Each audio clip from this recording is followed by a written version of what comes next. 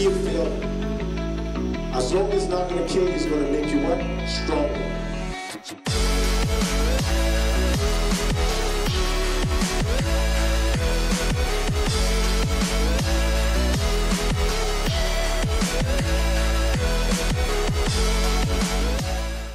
So, um, investor is a very interesting topic, man, because there there is no technique, one technique that you can use that can work for all. It's really a combination of a lot of things.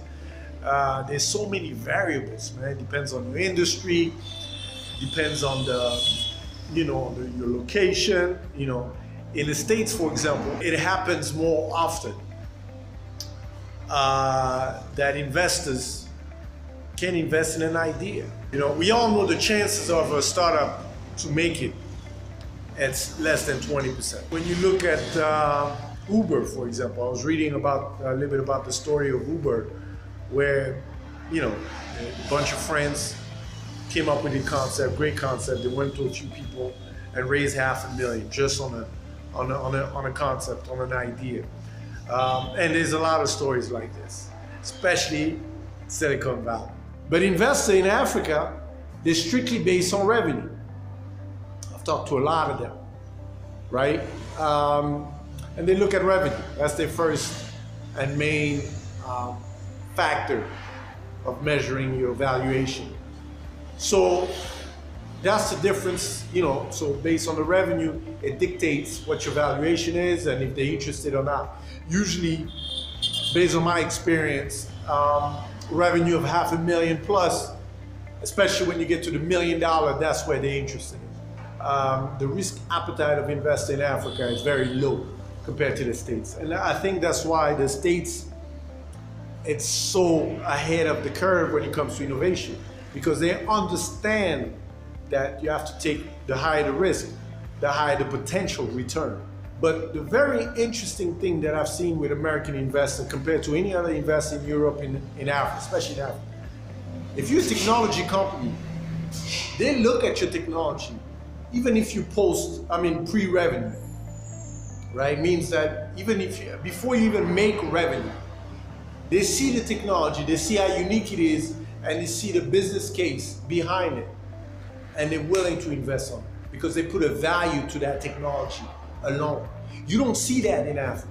You know, and this is the thing. You develop a technology, that's one of the challenges. And the second thing is you got to build a business. You got to find customers. You got to build a revenue and all those things. That's why it takes us such a long time. But in the States, it, it's, it's really, really current. So what's happening is you're able to get injection of fund to build your business. Most local investors. What I mean by local, in Africa, We want a sure thing. We want something that's gonna uh, have a chance to work. So the, the, more revenue you have, the more proof of concept you have, then you know the better chance for them to have a return on investment. The second thing is institutional investment. I should have clarified. That's what they focus on. That's what they're looking for. They want a sure thing. Angel investors. That's why you should be targeting. That's why you should be focusing. That's why a lot of time we don't talk about it. We talk about laws, we talk about institutional investment, but angel investment, unfortunately in Africa, is not well developed. An angel investment, somebody has a lot of money and uh, willing to take a risk, and they usually invest between 50,000, sometimes up to half a million, depending how great your idea is. But angel investor is strictly about network. You're building the trust. Because they come in on a stage where they're not investing necessarily in the company, they're investing in you.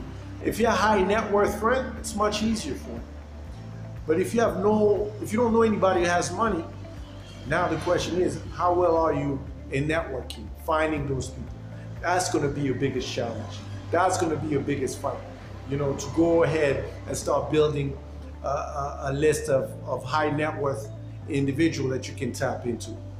And that always comes with connection. Somebody has to open the gate for you to that individual. Some of the challenge I've seen on the continent, man. A lot of times, somebody want to connect you with a high net worth person wants to cut before you even get a deal.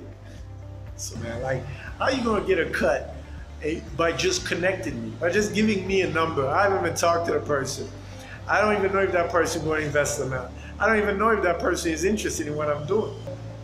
I always tell people, man, just get rid of the middleman trying to use um, the internet, right? Uh, and network like that. Do conferences, talk to those individuals. It takes time to build that relationship. Showcase. Always document your journey so far, what you've done so far online. Have a website. You know, um, do a vlog like I'm doing. And if you've been following me, I've been documenting my business journey for the last six years from day one. Angel investor is the gap you need to get you to the next institutional investor. And and they they're less active because institutional investors are more document driven. Angel investors are more person driven, people driven. Uh, the process with an angel investor is much faster than an institutional investor because that's his or her money. They make the decision. Institutional investor, they have to go to a board. They have to get all the documentation. They have to build the case to the board that this is the right investment to do. It's not their money. You know, it's a pool of money. We've seen both. We've had angels, we've had institutional, um, but now looking back, I should have focused more on angel investors. They're more engaged into your business, guys. They can connect you to more people because they also have a huge network. You, you just need a one good one, right? One good angel investor that understand what you're doing, that really want to get involved, and that want to bring value. Because now they put money in, they want to see that stuff grow. They want to see that business grow and become something so they can cash out you know? So they're going to get engaged. And as a startup that's very important because you know you're wearing multiple hats. If you have somebody out there that is your ambassador of your technology your business that has a huge network that's a huge plus man. That can help you a lot. Um, last thing i would say is institutional investors are very very strict on the kpis you have so you better be sure to deliver before you get an institutional investor. Angel investors are flexible. They understand, they've been there. Most of them have been there. You know, they understand things change, market shift, economy get lower or higher. You know, so there's all these variables. So they're more flexible. They're more willing to understand what you're going through. All right, guys, I hope that give you a little bit of um, insight. Maybe next time I'll talk about where to find those angel investors. I'll put a list together and come up with something um, to share with you guys. Peace.